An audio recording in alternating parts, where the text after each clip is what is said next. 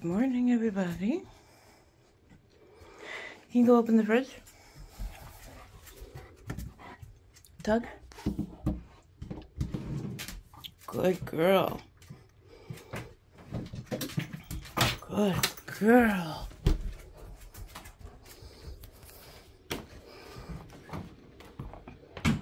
Bring. Good. Oh my. Uh, almost, bring.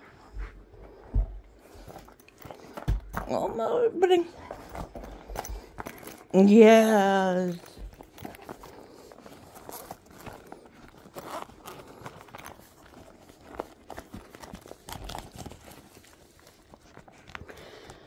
It has my Zofran in it. And a little pocket where she gets.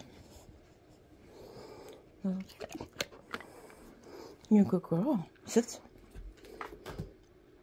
Sit in. Good place. Good. Okay, we are back. Good morning. It is. I had the. I just had the date in my head too. It is Sunday, January 21st. what's going to happen in a year. Hey everybody, my name is Anna. Welcome to my channel. Um, if you're new here, I have been living with tick-borne infections. Yeah, the, the not-so-nice little critters that are everywhere. I've been living with tick-borne infections for my whole adult life. Um, I was bitten by two ticks when I was 17. I'm 43 now gives you a good idea. My, my entire adult life has been spent going doctor to doctor, trying to figure out what was going wrong, trying to chase after multiple um, etiologies of illness, and then trying to stabilize me. Part of that journey was to get a service dog. And the German Shepherd that you see in some of my videos. I have a YouTube where I, I post longer videos. It's under Borrelia, etc. everywhere. Like I'm BorreliaEtc.com, Borrelia, etc. on Instagram, on TikTok, on YouTube, it, everywhere. It, it made it easy. So, one thing I wanted to talk about was um, what's been going on lately this past year, I have been chasing after endocrinology. I had a um, a referral that took over a year for me to get in. But when I finally did get in, it was worth the wait. I I do have to say. Um, we talked about the thyroid. I said this is the first thing I want to stabilize because I know it can affect so many other things. So I found out that my thyroid was underactive when I was 21. It was just, it happened to be among a, a gamut of tests that my doctor at the time ran. And along with uh, my like estrogen, progesterone, and all that, they were low. I was in a menopausal range at freaking 21. Um, but my, my thyroid wasn't working, so I'd been supplementing it. That's what my doctors knew to do. I never went to an endocrinologist before this last year. So I had always been treating it by accepting what the doctor said, and the, the doctor said, okay, you're low on both T3 and T4. So tiny thyroid lesson. Please don't bring this to like your teacher and expect a good grade because this is a very simplified view. You have your thyroid by the pituitary, right? Okay, so you your body sends TSH, thyroid stimulating hormone, to the thyroid. That starts to make T4. The T4 gets converted into T3 don't ask me who named these things. I don't know. could have been a little more exciting. But the T3 is the active part that goes around your body doing all the things that thyroid does, the automatic stuff, your heart rate, your temperature control, your breathing, so all the things you don't have to think about in order to live.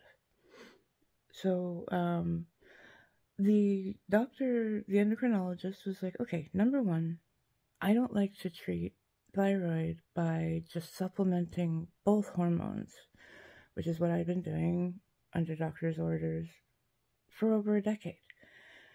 Um, close to two, actually. And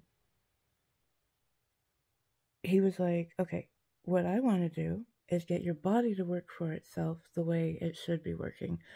I want to be giving your body as least med- uh, the least amount of medication as possible. And I was like, awesome. I, I'm I'm with you there. And I'm I'm willing to take your lead here.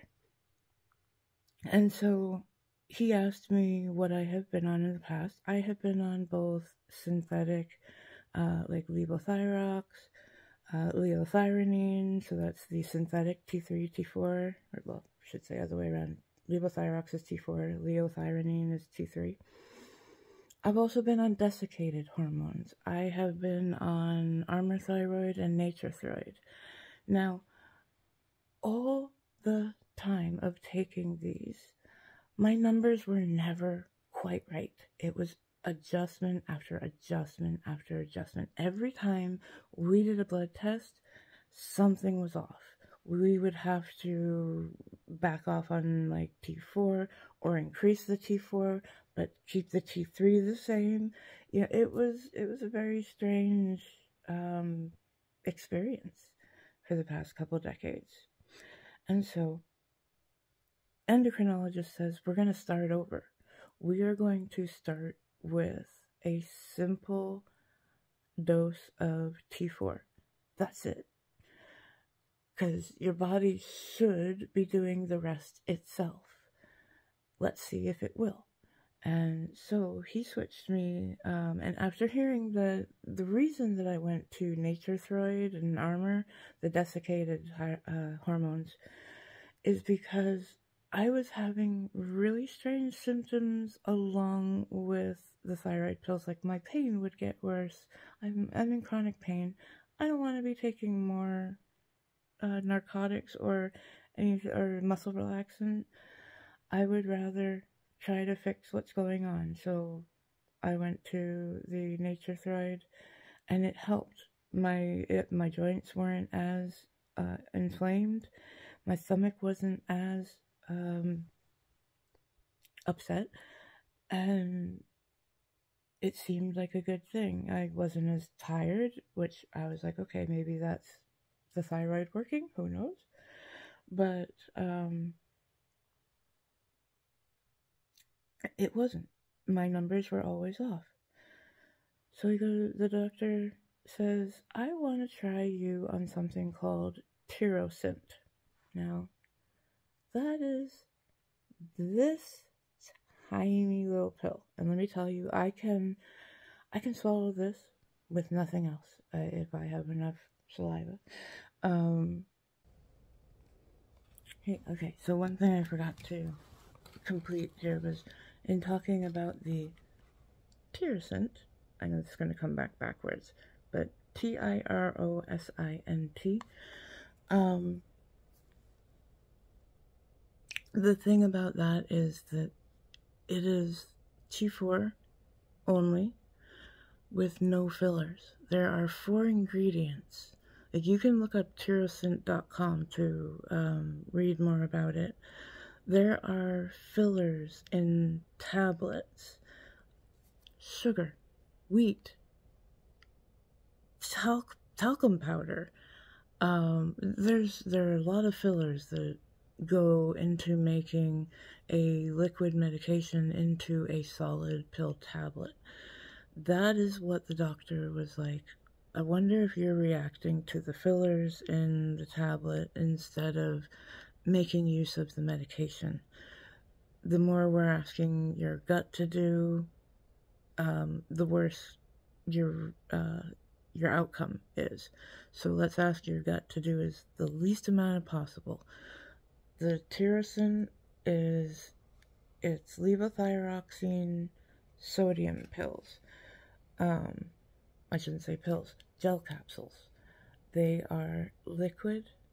The only other ingredients are the, the gelatin and the uh, the water to make the gel capsule around it so it can hold the medicine.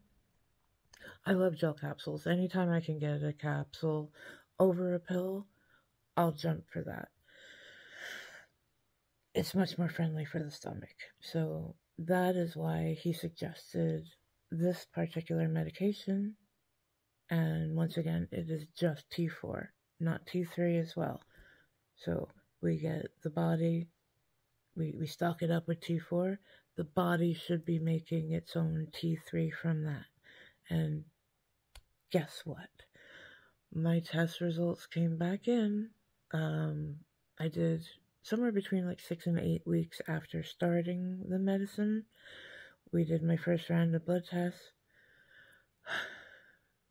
I was in the normal range for the first time in a long, long time. So this was exciting news. Usually in the morning I wake up I'm nauseous and it it is very hard incredibly hard for me to um,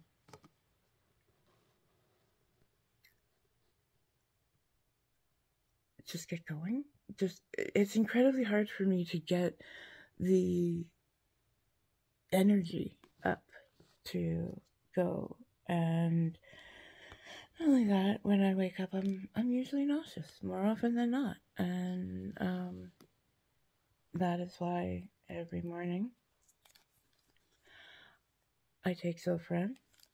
Reason that it's in syringes here is because I have an IV line. I have a tunneled IV that is always accessed. I have had this in, not this particular line, but I have had an IV in since 2006. 17 years. Why? Because when I get really, really sick and I start throwing up irretractably, uncontrollably, then I need help. Um, usually I can't keep water down.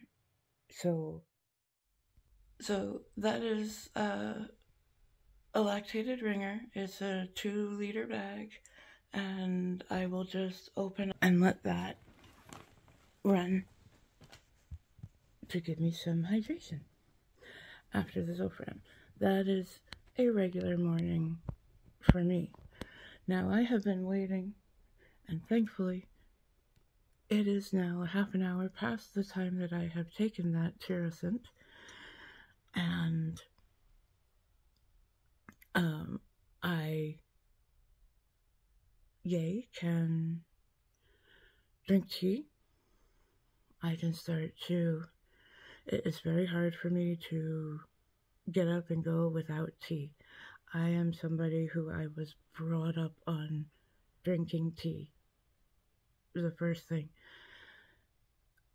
If I hear my mother get up, my caregiver, I had to move back in with my parents at 22 or 3 years old, something like that and my mother became my caregiver, my professional caregiver, and it got classes by the state. And if you didn't know, like there are at least 40, I think there's 42 states that provide something very much like the program that we have here. You can get uh, reimbursed for caring for a family member, for a friend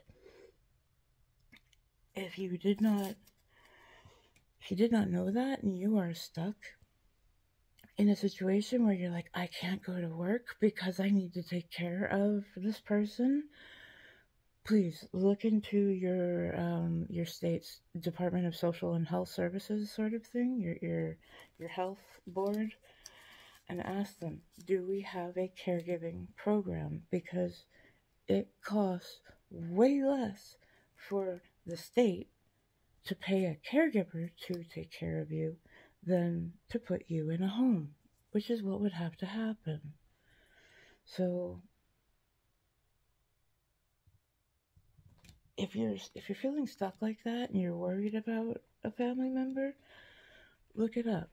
There are also a few states that have like some reimbursements. It's not exactly the same. We will pay you to be a professional caregiver, but um, it's something.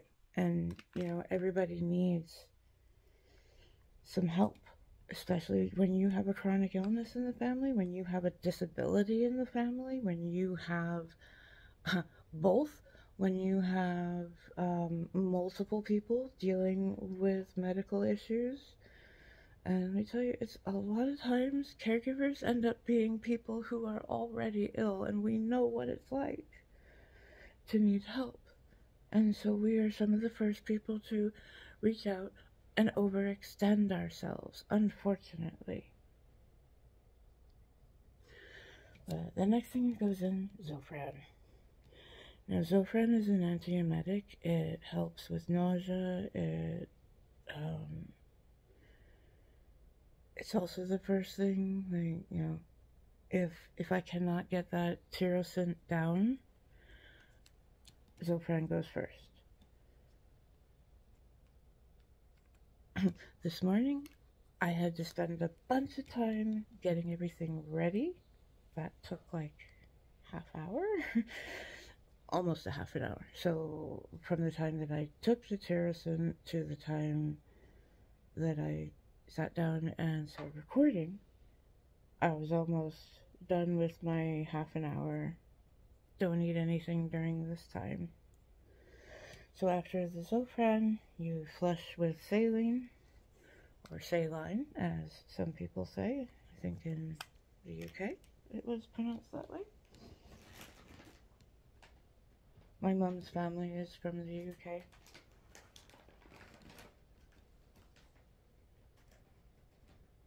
Her father from Scotland, her mother from England. They moved to Canada when my mother was young. But she actually, because her father was in the Royal Air Force, she got to grow up all over the world. Uh, while my aunts and uncle were in boarding school, um, my mother was actually with her parents. Number one, she was a preemie, and so she um, she needed to be with her mother and fed a lot as a baby. And I think that that fear of losing her made her parents kind of keep on um, to, they kept her close. They did not send her off to boarding school. So she got a completely different experience growing up than my aunts and uncle did she got to go to singapore live there in uh, kuala lumpur as well malaysia um, I think there was one other spot that I'm not remembering. Penang. I think Penang. Um, and so my mother has a a worldview which thankfully I was brought up with. There are lots of people in this world. There are lots of different people in this world, and um, even though I haven't been out of North America, I I would love to go see the world. Don't know if it's possible, but uh, I know I was brought up with more of a, a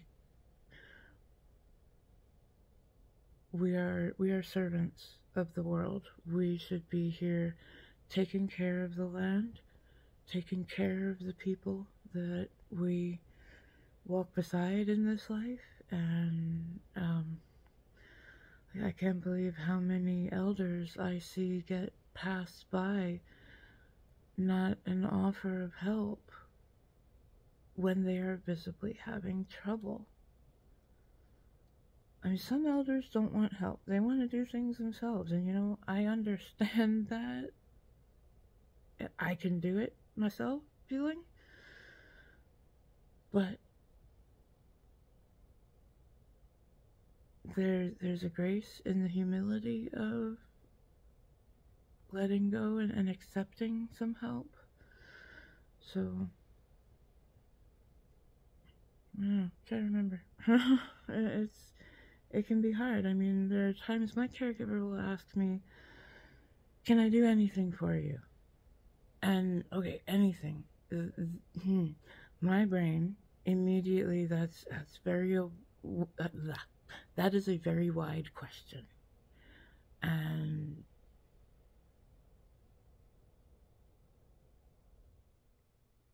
anything? No, I don't need anything.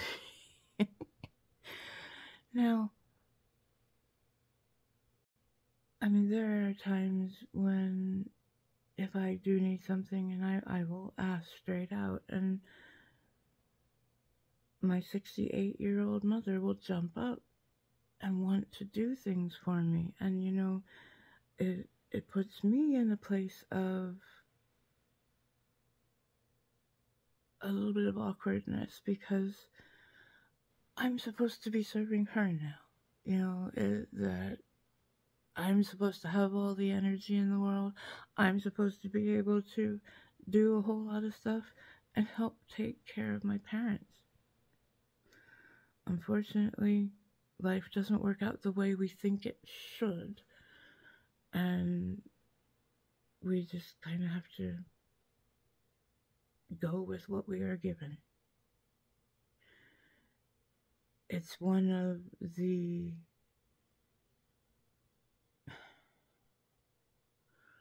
it's one of the most hard lessons in humility like the good kind of humility not we're, we're not talking about humiliation. We're talking about being humble. We're talking about you know accepting help being able to step back, let somebody else come in, assist. It's extremely hard. We're all told we should be individual go getters, and I'm I'm not that way. I'm not driven by money. I'm not driven by um, by things, I guess is the way to say it. Um, I am driven by wanting to help people. One of the major things I saw missing in the community I'm in was support groups. Support groups for whatever you're going through chronic illness, um, are you home alone most of the day? Are you uh, trying to take care of somebody? You know, teaching self care, teaching, um, reminding people about boundaries, teaching them about self love, self care, taking some time out for yourself anything from a bath to a nap can be self care. Self care can be so much. It can be coloring a picture. I mean, there there are times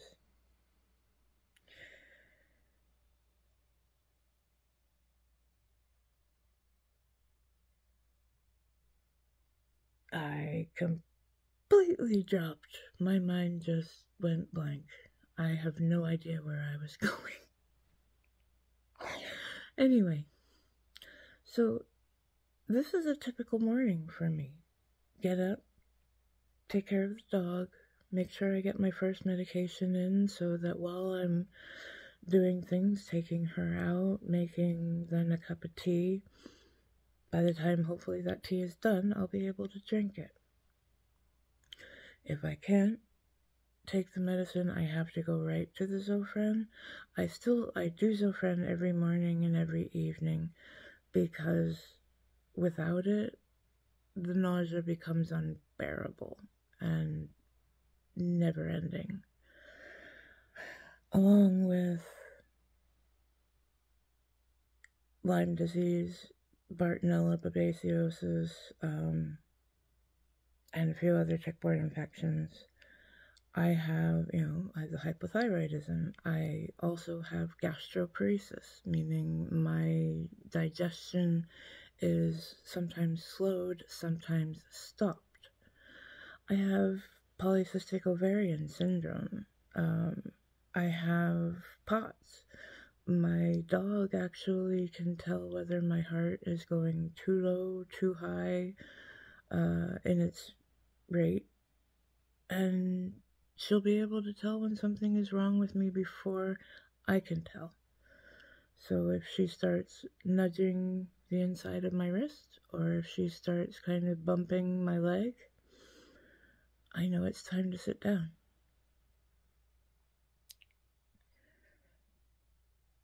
So, medicine, tea, more medicine,